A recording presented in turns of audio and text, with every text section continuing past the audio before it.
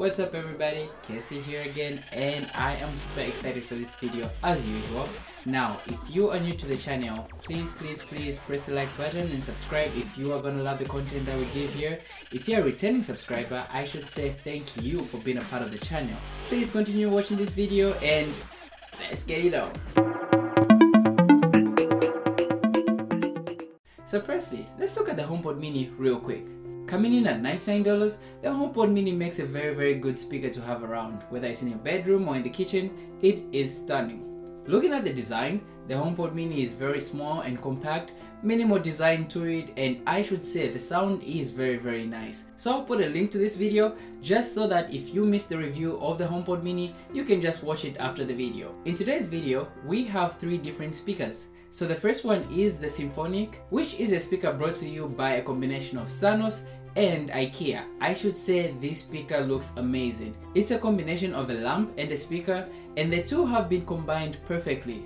With a mesh fabric around it, the Sonos speaker is just an amazing thing to have whether it's in the bedroom or in a public area like a sitting room. So the Symfonisk speaker actually makes a very very good speaker to have. I mean it's just about 401 millimeters in height. It actually comes in two different colors and I actually have the white one right here but there's also a darker version which has an amazing look to it.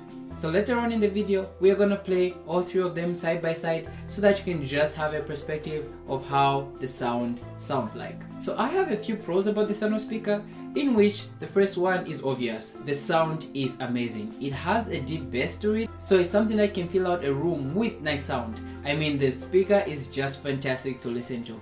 Looking at the size, we obviously know that one of the pros is going to be how loud it can get. As compared to the HomePod mini and the Alexa speaker, the Sonos is quite big so definitely it actually spits out loud music. So the other pro I should say is it doesn't really depend on an app as per se, but it also has an app that can enable you to do a few adjustments in terms of changing the equalizer and anything else that you can do. So in the app you can actually set an alarm, you can listen to the radio, you can adjust the type of music you want to listen to. It's just an amazing thing to have. So the good thing about it is that it's not highly dependent on the app. So if you don't want to use the app, you may use it without the app unlike the Alexa speaker of course. The other point that I have already mentioned is that the cord is detachable which is a very very big advantage.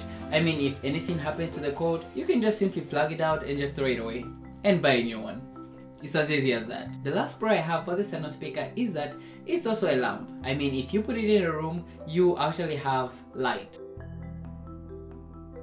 Of course straight out from the box you are not able to adjust the temperature of the light but I should say if you get a smart bulb and fit it in you should be able to do everything without a problem. I mean it also somewhat makes it a bit of a smart speaker if you just put a smart bulb in it that you can also enable just by saying turn on or turn off. So let's talk about the cons real quick. One of the biggest problems I had with this is that it doesn't have Bluetooth. One time we had to move to a new place and we didn't have the Wi-Fi set up at that particular point and I couldn't really use the speaker which is defeats the purpose of the speaker. But so long as you're connected to the same Wi-Fi you're able to use this speaker very very well and it shouldn't give you problems which I should say lack of Bluetooth in this day of age it's a big no. So the other con that other people might find is the size. I personally like the size but for other people the size might be too overwhelming in a room. I mean it's one speaker that makes an impact one other disadvantage is that it's not a smart speaker. So in comparison to the Alexa speaker and the HomePod mini speaker, it does not really do anything. The only thing it does is play music and you can also just listen to the radio, I guess. But it would have been cool if they had embedded the software that enables you to interact with it. I mean, that would have been just changing. So that's that about the Sonos speaker. So next we're going to talk about the Alexa speaker. Let's go. So this speaker is the Amazon Echo Dot 4th generation. I should say it looks really really beautiful. It has a fabric material covering the top part and a hard plastic shell at the base. I should say they went for a minimal design but not too minimal as compared to the HomePod mini. So this speaker is actually a smart speaker and I should say it's really really smart. I had the time to play with it and I should say I just lost it. We went on and on having a good time with it. I mean, check this out. Hey Alexa, drop some bars. Big ups to Grace Hopper, Showstopper, OG Computer. programmer, Navy battalion commander, went to Yale for mathematics, got a oh, How cool is that? Unlike the Sonos speaker, the Echo Dot uses both Wi-Fi and Bluetooth, which sets it to a very good advantage. You're able to perform more tasks with the Echo Dot as compared to the Sonos speaker. So let's talk about the pros real quick.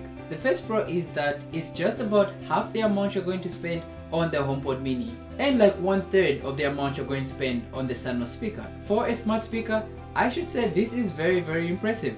The other pro I have for you, which I found to be so amazing, is that Alexa definitely sounds more alive than Siri. For example, check this out. Hey Alexa, what's the best pickup line? This place must have good Wi Fi, because I'm definitely feeling a connection.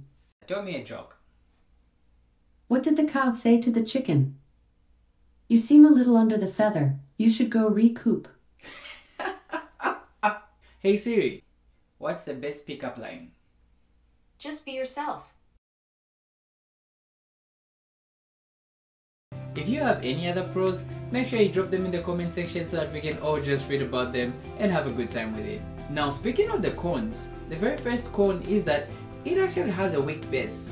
I mean the bass is very good as compared to the HomePod, but if you compare it to a speaker like the Sonos speaker, it's not really the best. I mean I enjoy the bass quite a lot, but if you put it in a big room, it really struggles. The other weakness about the Echo Dot is that it highly depends on the app.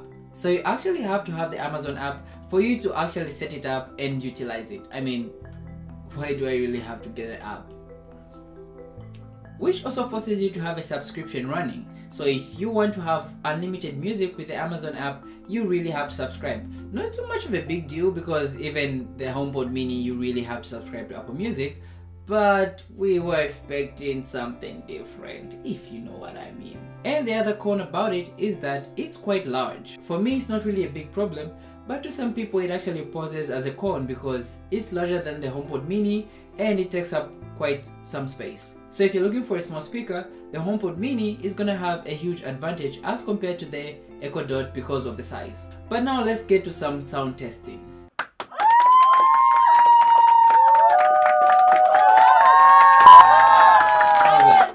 And for the next part, we are going to put them side by side and just try to compare the sound and how deep the bass and of course the other nitty gritty stuff that we can pick out from the comparison. So let's go.